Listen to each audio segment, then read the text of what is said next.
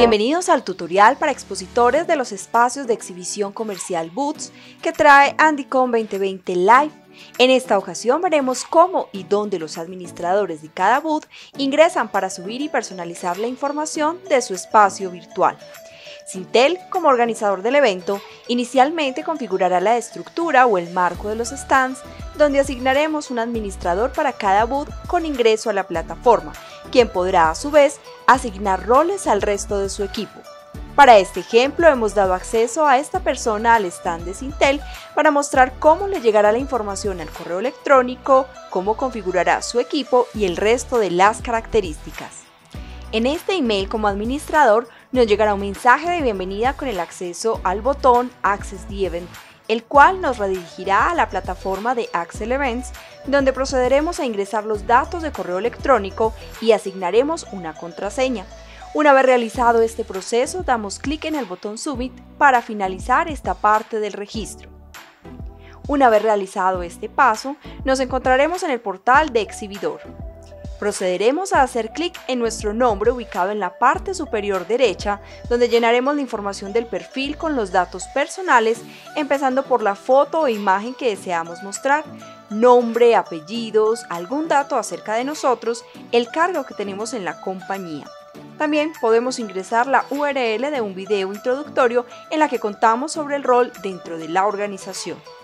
Aquí también podemos subir el nombre de la compañía a la que pertenecemos en el espacio de timeline. Podemos poner un mensaje personalizado o un eslogan que nos represente. Tenemos también el espacio para mostrar lo que queremos aprender durante el Congreso, los conocimientos que poseemos y los aspectos fuertes a destacar, las personas con las que nos gustaría conectar y además los temas de interés para conocer durante el evento. Al final del formulario hay un botón para activar o desactivar si deseamos recibir mensajes directos y para terminar haremos clic en el botón Submit. A la hora de subir la imagen de perfil, sugerimos escoger una foto con unas dimensiones de 200 x 200 píxeles. Para terminar, le damos clic al botón naranja de Crop and Save para que nos quede la información consignada en nuestro perfil de expositor. Una vez realizado este paso, podemos empezar a personalizar y subir la información de nuestro boot. En primer lugar, nos encontraremos en la pestaña de Leads. Allí encontraremos el listado de los contactos que han ingresado en nuestro boot o que hemos subido manualmente allí. Podremos ver una descripción del nombre y apellido, el nombre de la compañía a la que pertenece, el estado en el que se encuentra este lead la información de correo electrónico que es obligatoria para ingresar a la plataforma y el número telefónico registrado en su perfil. El rol de asignamiento de los contactos cambia si alguien del staff sube manualmente este lead. En Source nos muestra la fuente desde donde ingresó esta persona y finalmente en el espacio de Action tenemos el icono para borrar el lead o editar la información. Una vez hacemos clic en el botón editar, aparecerá el espacio para nombre, apellido, el correo, el espacio para número telefónico y también saldrá la información de cómo se generó ese lead. En este caso nos dice que es un Auto General Lead. Esto quiere decir que es una persona que ingresó directamente al boot y contactó con el staff. Por último, aparece la opción para cambiar el estado en el que se encuentra este lead y cambiar el espacio de rating de dicha persona. En esta parte superior derecha tenemos los botones para descargar los leads o subir manualmente uno al listado. Para esto hacemos clic en el botón Add Lead, en donde llenando la información de perfil y contacto podremos agregar la información que deseemos. En la pestaña de Chat with a Lead tenemos el chat general en donde nos pueden hablar todas las personas que ingresan al boot y también encontraremos la pestaña de Direct Message en donde veremos los mensajes directos de las personas que han escrito directamente desde mi perfil del stand. Haciendo clic en el botón de configuración podemos elegir si encender o apagar las notificaciones. También tenemos un icono que nos muestra la cantidad de personas que se encuentran en el momento dentro del boot y en este botón podremos descargar los chats que hemos tenido en este espacio. De este lado aparecerá un listado con detalles de las personas que pueden ser posibles leads con los que hayamos chateado. En la pestaña de Company Details encontraremos el espacio para el logo, donde subimos uno inicialmente como organizadores del evento, pero de ser necesario este logo se puede cambiar. Haciendo clic en Change Logo, se abrirá la ventana en donde podremos cargar una imagen que por sugerencia de la plataforma debe ser de 700 x 350 píxeles de forma que tenga un ajuste óptimo. Los formatos en los que podemos subir este logo pueden ser JPG o PNG. Al final guardamos haciendo clic en Crop and Save. Debajo del espacio para logo estará el espacio para ingresar la URL del live streaming de Zoom en donde también podremos indicar si esta es una cuenta Business o Enterprise de Zoom. El siguiente espacio que encontraremos es donde ingresaremos la URL del video que se verá en la ventana de video promocional del boot. En Exhibitor Description es donde subiremos la información que se muestra en la ventana de detalles de la empresa dentro de cada boot. Para esta explicación haremos clic en el botón de Full Screen de forma que podamos ver mejor los iconos dentro de este espacio. La plataforma nos brinda diferentes opciones de personalización de contenido que vayamos subiendo. Inicialmente encontraremos las herramientas para editar texto, tenemos la opción de ponerlo en negrita, itálica, con subrayado y el icono de More Text. Encontraremos diferentes características de personalización de texto y empezar a jugar con el contenido. Si queremos poner colores de fondo o highlights, se deben cambiar el tamaño, entre otros, con los iconos de las flechas, puedo deshacer o rehacer en caso de que se requiera. Cuando hacemos clic en el espacio para ingresar texto, veremos que se abre un botón con el símbolo de más que se llama Quick Insert. A través de este botón podemos incluir las imágenes guardadas en alguna carpeta, la URL de un video una tabla, una lista no numerada o numerada e insertar una línea horizontal divisoria. La plataforma también posee las típicas herramientas de alineación de texto como alinear hacia la izquierda, numerar una lista haciendo clic en el icono More Paragraph. Se desplegarán más herramientas de personalización de texto. Lo ideal es que empecemos a familiarizarnos con las herramientas y podamos editar el contenido como lo deseemos mostrar. También tenemos la opción de vincular una URL al texto, seleccionando el fragmento de palabras a linkear y luego haciendo clic en el icono de Insert Link. En este espacio pegaremos la URL, seleccionamos si queremos o no que se abra en una pestaña nueva y terminamos el proceso haciendo clic en el botón de Insert. En el icono de Open Link podremos abrir el vínculo en una nueva pestaña, personalizarlo, usar el color subrayado y demás opciones para editar y desvincular el link.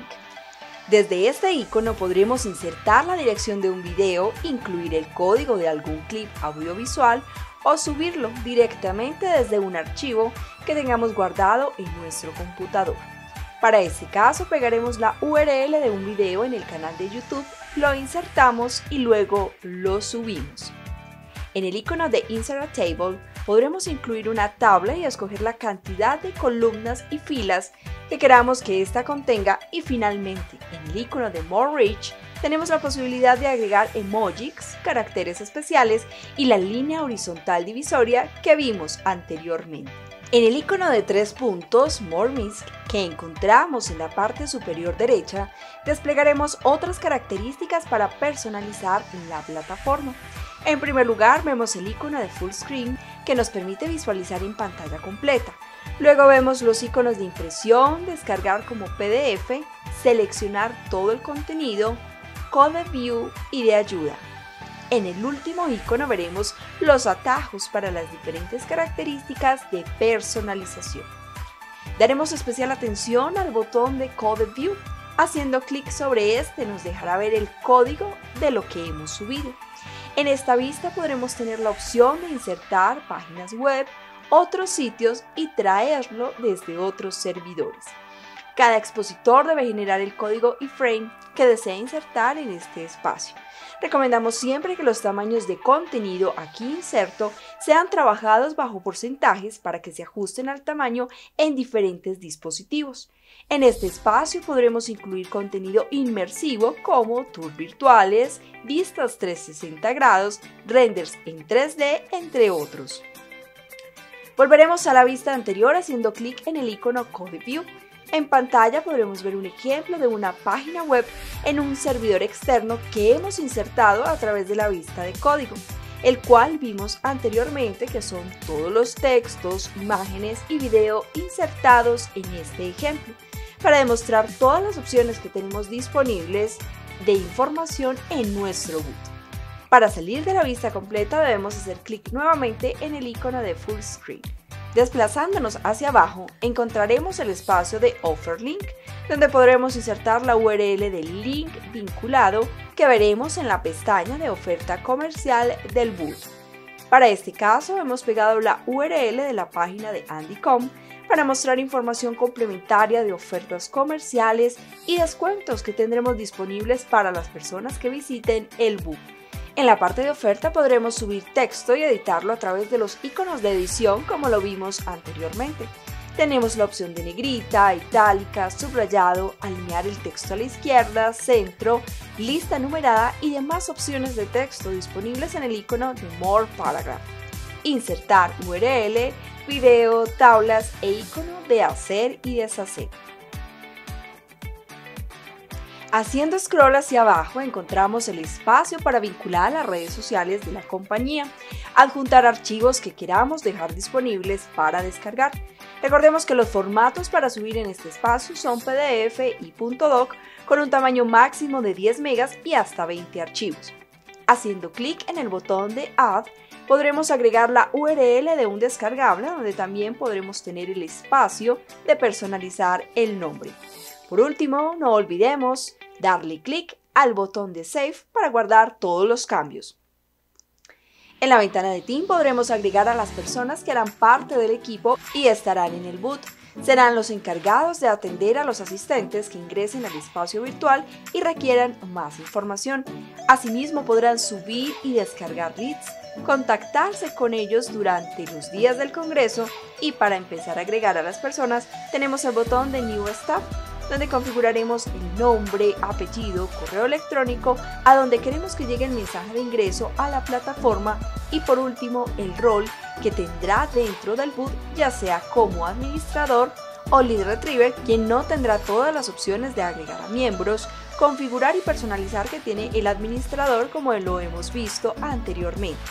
Mientras que el Retriever únicamente tendrá la posibilidad de descargar y subir información de leads para responder dudas que tengan las personas que entran al espacio virtual de la empresa. Si nos dirigimos al listado de staff, veremos el nombre y apellidos, la cantidad de leads que éste haya subido, el correo electrónico vinculado, el rol que tiene esta persona dentro del boot y los iconos de editar información, eliminar y reenviar el correo de invitación de miembro del staff del boot. La siguiente es la ventana de Products, que actualmente se encuentra en desarrollo. Lo que podemos ver dentro de este espacio es un listado de ítems donde primero encontraremos la posibilidad de subir una imagen, el nombre del ítem, su descripción y el precio que tendrá. Desde el icono de editar información se abre una ventana de personalización y un icono de borrar ítem. En la parte superior derecha veremos el botón de Add Product para agregar más ítems al listado. En dado caso que salgamos del portal de exhibidor y decidamos navegar por el lobby, la agenda, patrocinadores y espacio comercial en donde están las demás empresas vinculadas al Congreso, podremos regresar al portal de edición haciendo clic a la ventana de My Booth y regresaremos al espacio donde nos encontrábamos anteriormente. Con Andycom 2020 estaremos más cerca, más unidos, más live que nunca. Una experiencia de relacionamiento que llevará a tu organización a otro nivel.